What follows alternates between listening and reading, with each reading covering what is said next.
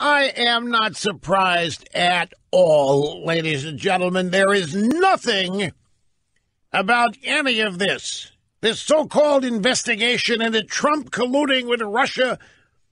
I'm not surprised there's a secret society within the establishment that was designed to get rid of Trump, to deny Trump the election. We were never supposed to know any of this because Hillary was going to win. And if Hillary Clinton had won, we wouldn't know one aspect of this. We wouldn't know any of this.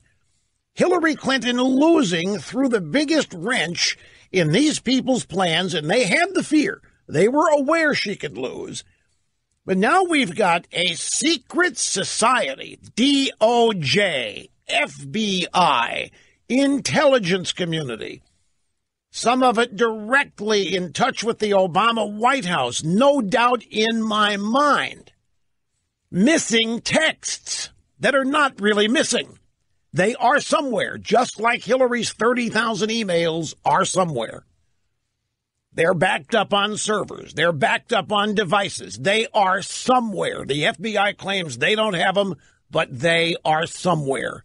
Just like Hillary's missing 30,000 emails are somewhere the mystery of the missing text messages between Struck Strzok and the paramour Lisa Page continues to widen and deepen at the same time.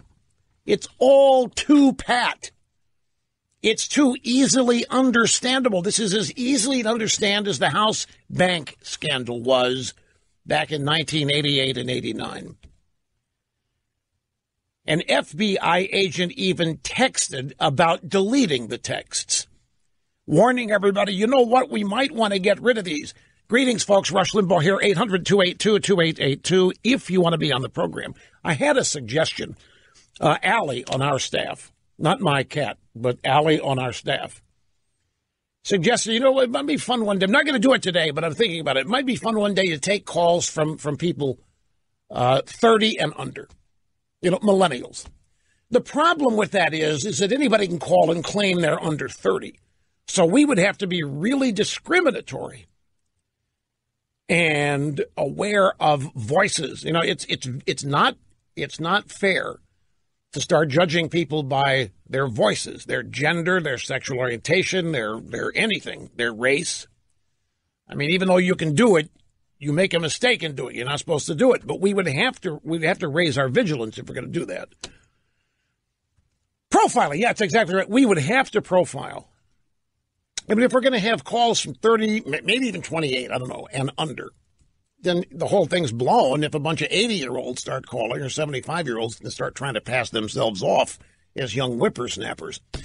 Anyway, the FBI agent texting about deleting texts. These people had a secret society. They call it that, but it was a group of people that was hell bent on denying Donald Trump the presidency. And I, just to put it on the record here again for the I don't know how many umpteenth time, I don't have any doubt in my mind that that phony dossier was used to secure a FISA warrant. I have, in fact, let me say it exactly as it is. I have no doubt that they perpetrated a fraud on a judge at the FISA court. I mean, that's really what it is. If they used the dossier to get a FISA warrant to spy on Trump, that means they lied to a judge. Unless the judge was in on it and when you're talking about the establishment, I mean, who the heck knows? The FISA court is super secret anyway. But regardless, it's a giant stink bomb. It is dirty as it can be. Trump is tweeting on it. And the more we learn about this, the more easily understandable it is. And the more easily believable it is. Okay, a brief timeout. Got to take it. We'll come back and um, I'll see if any calls look interesting, and then we'll. I want to knock this Apple stuff out of the way, and then we move on to the secret society and the latest on the immigration deal. If there is any more good climate change stuff, is just delicious. You can't. I cannot wait to get to that, and of course the secret society, the FBI, the DOJ, the Obama administration attempting to sabotage Trump. This is getting juicy. I'm. T- none of this was ever to have been known. It was never to have seen the light of day. And it is. And it was not supposed to. And I think Hillary losing the election opens up the prospect of some of these people going to jail over what they did if there is a legitimate investigation into it. That is another big if as well, because the establishment still holds sway over a lot of these investigatory agencies and agents. So sit tight, be right back. Meanwhile, what's really happening is the wheels are coming off the deep state's efforts to deny Trump the presidency, and once he won the presidency, to get him kicked out and removed. Now we've got stories of the missing texts between Peter Strzok Strzok and his paramour, Lisa Page, and House Oversight Committee Chairman Trey Gowdy, South Carolina, raised concerns that the two FBI agents mentioned a secret society shortly after Trump won the presidency. The day after the election, there's a text exchange between these two FBI agents, Strzok and Page. As supposed to be fact centric FBI agents saying perhaps this is the first meeting of the secret society. So I'm going to want to know what secret society they're talking about because you're supposed to be investigating objectively the person who just won the electoral college. Trump resistance, secret society. These people probably gave themselves that name. I, I, I can see, I really can. I can see where these two struck stroke. In the first place, you got hormones raging because they're having an affair. And he's probably trying to impress her like nothing. He's married. She's, I don't know if she's married or not, but he's just full fledged, headlong into this affair. And she's probably got her own interest in it as well. But it sounds like Strzok Strzok was the guy. You know, in a relationship, there's always somebody who loves somebody more than the other. Would you agree with that? Can I say that without getting beat up by people? I can't. Okay, then forget it. I didn't say that. This guy, and I think they probably their their their connections and their contacts as FBI agents I think they probably really went to their head. They thought they were really doing something important and cool, but they knew it's on the edge of legality, probably not legal. But they felt protected. They knew that uh, the Obama DOJ was behind them. They knew Obama was behind them. Comey, everybody in the deep state knew that they were uh, probably on the edge here, but all aligned. And I'm sure it got very heady this is a very august group, very small group of people, very important project getting rid of Trump, defending the Washington establishment. And I wouldn't be a bit surprised if these people got totally lost and caught up in how important they were and how cool they were and how exciting what they were doing was and how important it was and it was clear from the texts of theirs that we've seen that they knew that they were on the edge and that they had to keep this under wraps and they had to keep it secret. So they probably named themselves the secret society. And who knows, folks? I, I, I wouldn't doubt that if this whole group decided to name themselves that. I think we're dealing with a degree, a level of arrogance and support superiority. I'm talking about psychological superiority. We are better than everybody else. We're the defenders, we're the protectors. And you combine that with their opinion of Trump, which is nothing more than he's human debris. This guy is sewer level scum. And you couple that with with the fact that he's won, he's an outsider, he's outsmarted them, and now the lid's blowing. Now we know that Hillary hired the people that wrote the fake Trump dossier. And now we're getting closer and closer to confirming that Obama and the DOJ lied to a FISA judge to get a warrant to surveil. So they're panicking. And that's why a bunch of texts from the five month period of real activity on this are now missing. But my friends, they aren't missing. The FBI claims they can't find them, that there's a glitch and something's happened, but they are somewhere. They are on the original device. I've, I've read that the FBI was using Samsung 5s, Samsung Galaxy 5s. Is that right? Well, those are old devices. Those are very, very old devices. But we're talking about the FBI here. There are servers, there are backups, there is redundancy. But we're being told this stuff's gone just like Lois Lerner's stuff just miraculously disappeared. Just like Hillary's 30,000 emails just disappeared. They didn't. They're somewhere. Somebody can get them, somebody has them. Like you, if, if, if you use iDrive here, if, if you pick up on the idea of backing up your phones and your computer to iDrive, okay, so you may have a glitch on your phone or your computer and you lose, but they're there. They're on that server. They're on the iDrive server, and they may be elsewhere. So Strzok, Stroke, and Page, their two devices are being used and their computers. Whatever server side backups are happening, whatever the FBI's, these text messages are somewhere. And somebody could find them if they wanted to. Now let's go to the audio soundbites. Let's listen. This is uh, first off last night on Fox News. Representative John Ratcliffe, a Texas Republican, along with uh, Trey Gowdy talking about this secret society at the FBI. And what this is interesting because they have learned that these two people are talking about an investigation. And, and Obama was briefed on an investigation, but they don't know which investigation, Trump or Clinton. Let's get started. We learned today about information that in the immediate aftermath of his election that there may have been a secret society of folks within the Department of Justice and the FBI to include Page and Strzok that would be working against him. We learned today about this is above and beyond what is in the four-page memo about the FISA warrant. This is additional. We learned today about information in the immediate aftermath of Trump's election there may have been a secret society of people, DOJ, FBI, including Strzok Stroke and Page, meaning others, that would be working against Trump. Here's Trey Gowdy weighing in. What Johnny and I saw today was a text about not keeping text. We saw more manifest bias against President Trump all the way through the election into the transition.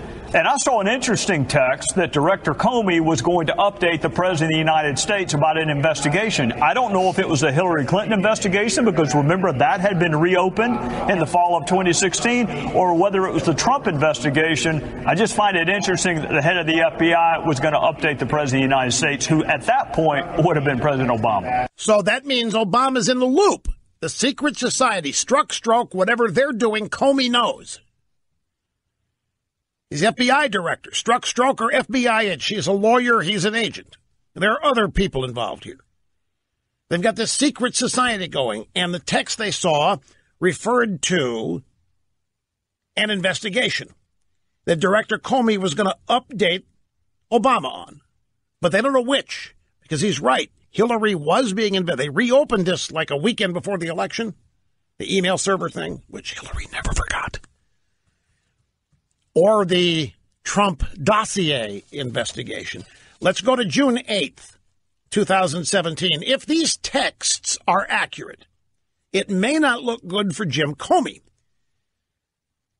On June 8th of 2017, Comey testified before Senate Intelligence Committee hearing on Russian interference in the presidential election. And during the Q&A, Mark Warner, Democrat Virginia said, "In all your experience, Director Comey, President Trump was the only president you felt like in every meeting you needed to document because at some point, using your words, he might put out a non truthful representation of the meeting. As FBI director, I interacted with President Obama uh, and I spoke only twice in three years and didn't document it. Okay, so this is, hang on now, June 8th, 2017.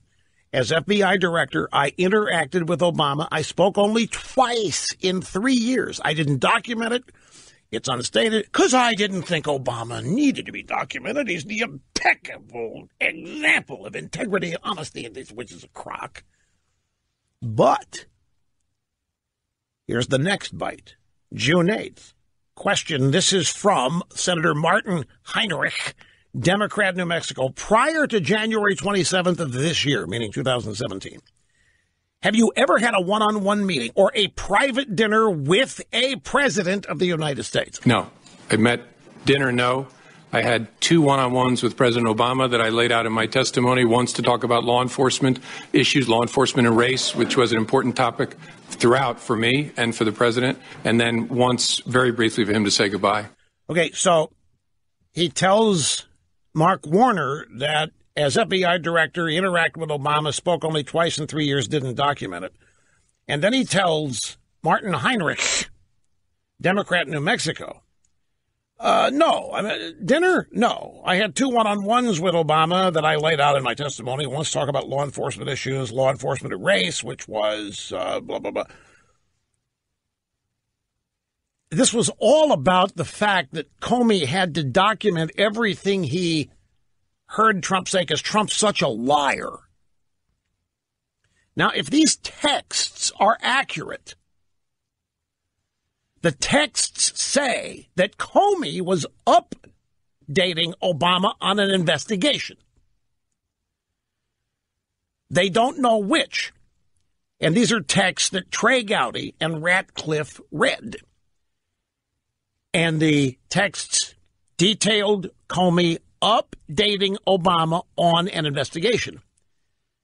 Comey, under oath, doesn't say a word here about updating Obama on anything. All he did was talk about law enforcement issues and race.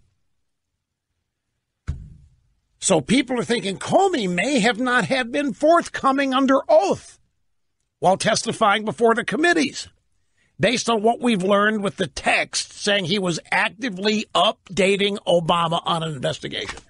Now, the odds are he's updating Obama on the Trump investigation because the only thing about the Hillary investigation is how to cover it up and make it amount to nothing. There wouldn't really be any need for an update of that. We'll be back here in a minute. And with talent on loan from God. It's Rush Limbaugh and the most listened to radio talk show in America. Happily back for yet another exciting excursion into broadcast excellence. Coming to you from the fortified EIB Southern Command in an unmarked bunker on a popular thoroughfare.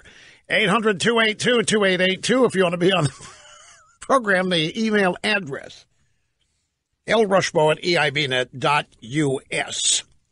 In jaw dropping text, Peter Strzok Strzok expressed concern about joining the Mueller team.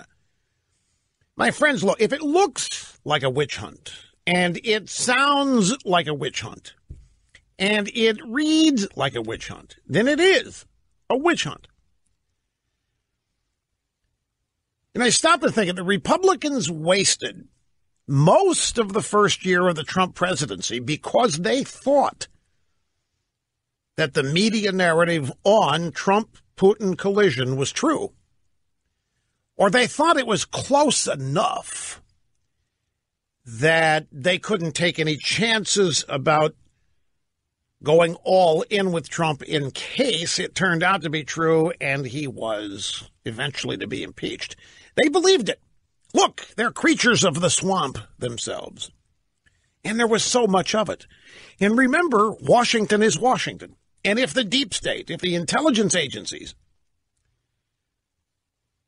are saying this over and over and over and over and over again, if they're flooding the zone, if every newspaper, if every cable network is reporting these leaks, you can almost see how they would have no choice but then to believe it and so they kept their distance from Trump. And that whole year, you know, we're, we're, we're talking here, we're each saying to ourselves, if they would just get on board for three months, if they just get on board the Trump agenda, there'd be no stopping them. And we thought they weren't getting on board because they didn't like Trump or because they resented Trump, one of those things. It wasn't that. It was they fell for the narrative. Enough of them thought there might be something to it that they couldn't risk not buying into it. Speaking of the intelligence agencies, I'm sure some of you have already thought of this, but it, it just hit me a few days ago. For some reason, I was thinking about the war in Iraq. You remember what the intelligence agencies were telling us in the war in Iraq? You remember what they were telling us? There was detail. There were photos. There was conclusive evidence Saddam Hussein had weapons of mass destruction. And it wasn't just U.S. intel. It was MI5, MI6. It was intelligence agencies all over the world. It, George W. Bush kept quoting them. George W. Bush kept citing them. George W. Bush sent Colin Powell to the UN with the so-called evidence. And Colin Powell had to present it to the Security Council. There were photos and all of these bits of proof that Saddam had weapons of mass destruction. Colin Powell now says that's the most embarrassing period in his life because it turns out none of it was true.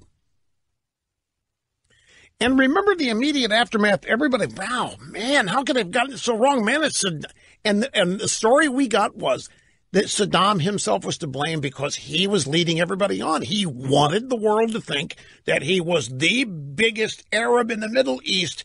He was the giant that was going to slay the United States. So he furthered the belief. He helped it along. Sorry, that doesn't wash with me. Okay, so the guy says he's got him. That's your basis for believing it? What if? Just what if? Remember, they all thought Gore had won that election until the Supreme Court came along and stole it for Bush. This is what they thought. The Democrat Party is the Washington establishment, and the Washington establishment believes that Gore won the presidency, that the Florida recount aftermath was bogus and rigged, that James Baker did a better job than the Democrat people did in finding votes, the hanging chads. What if the intel on the war in Iraq was another disinformation campaign to damage another Republican president? And boy, did that work. Ever since there were no weapons, look at what we did. We, we, we, we spent, Bush spent two and a half years traveling the country building support for the war in Iraq. We had the massive opening day of shock and awe. And we had the pictures of Saddam's statue coming down, Saddam uh, eventually being captured, hiding out in a hole in the ground somewhere. But there were no weapons of mass destruction. After that, no, yes, there were, Russ, there were. they they've been moved to Syria. We have pictures of the trucks. They got them out of there. They got them out. We know he had them. Well, we know he used nerve gas on the Kurds at one time, which is which is weapons of mass destruction. But just what if? The quote unquote intelligence community misrepresented on purpose the degree to which Hussein had WMDs. Because I'll tell you, it was a very, very embarrassing moment for the Bush administration. I mean, two years of ontological certitude. This guy posed a bigger threat than Al Qaeda. This guy, they even showed us photos where Al Qaeda may have trained outside Baghdad. Now, we know the Republicans are not the favored party in Washington amongst swamp dwellers. Even though Many of the CIA apparatus were, of course, aligned with Bush. But I was just thinking about this the other day. And that, that was a, a glaring example where, if it was legitimate, look how wrong they were. I mean, they couldn't have been more wrong. And it was not just one intelligence agency, it was the entire intel community in this country and in the UK and all of our allies. There was supposedly unanimous agreement on Saddam having weapons of mass destruction. Now, what if? This is hindsight, which is always 2020. What if, based on what we know now, we know how the deep state has been trying to undermine Donald Trump from the days he was a candidate to during his transition to even its ongoing now as president. We're learning of Strzok Stroke and the FBI and the Hillary opposition research dossier that ends up becoming fodder for a warrant at the FISA court to spy on Trump. So we know the deep state can mobilize if they want to, and they can create false narratives that everybody in the media believes. They even had the Republican Party for a year believing that Trump had conspired with Russia maybe to steal the election. What if Saddam weapons of mass destruction was also a false narrative designed to what it did did it ultimately embarrass Bush? Did it weaken the US military? Did it whatever it did? I mean, it opened the doors for the Democrats to literally destroy his presidency in the second term which is what they did. They launched every salvo they had. They did everything they could to get John Kerry elected in 2004 as the Democrat nominee. So I just I just wonder. And then I remember Chuck U. Schumer telling Donald Trump, after he had criticized the intelligence community one day. Chuck Hughes said, You better be careful because those guys can make your life hell, Mr. President.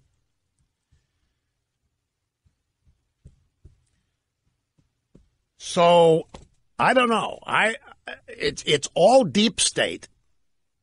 It's it's all stuff happening way beyond wherever our eyes can see and our ears can hear. PMSNBC is reporting that the um, is the New York Times says that Comey shared memos about Trump's meeting. I'm getting this word by word as it's hunt and pecked on the New York Times. Comey shared memos about Trump's meeting with the special counsel team. I don't know what that is.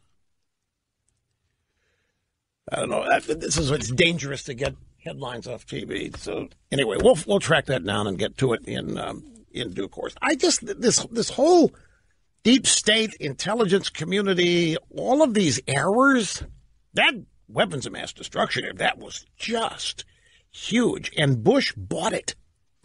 Totally trust. Well, we all did. mind boggling.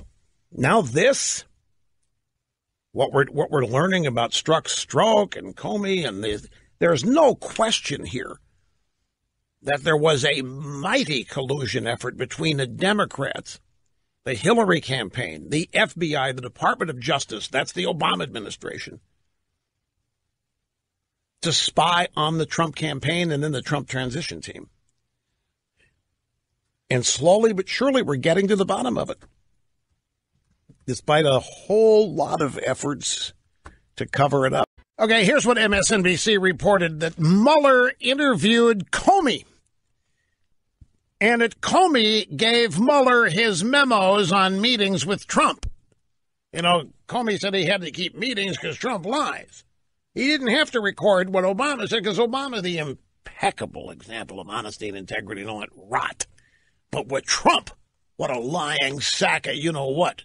So, anyway, the New York Times says that Comey gave Mueller his memos on his meetings with Trump. And, and the, the, the jaw dropping nature of the text from Struck Stroke, I was. I was remiss here in not finishing closing the loop on this. Here's what Struck Stroke wrote to his paramour, Lisa Page. You and I both know the odds are nothing. If I thought it was likely, I'd be there, no question. I hesitate in part because of my gut sense and concern that there's no big there there. What this means, Struck Stroke was writing to Page about his lack of desire to be on the Mueller team because he didn't think there was any collusion. That's why Trey Gowdy is describing this as jaw dropping. This is Ratcliffe. Because he's writing to Lisa Page, you and I both know the odds are nothing. If I thought it was likely, I'd be there, no question, meaning on the investigative team. I hesitate. He eventually did join it, obviously. He said, I hesitate in part because of my gut sense and concern there's no big there there, meaning any collusion. But that didn't stop them from trying to create the illusion that there was. And they spent over a year doing so. But that's why the struck stroke text is considered jaw dropping, not because of its audacity, but because he's talking to somebody close. He doesn't think anybody's ever going to see it. Hey, we all know there's nothing there.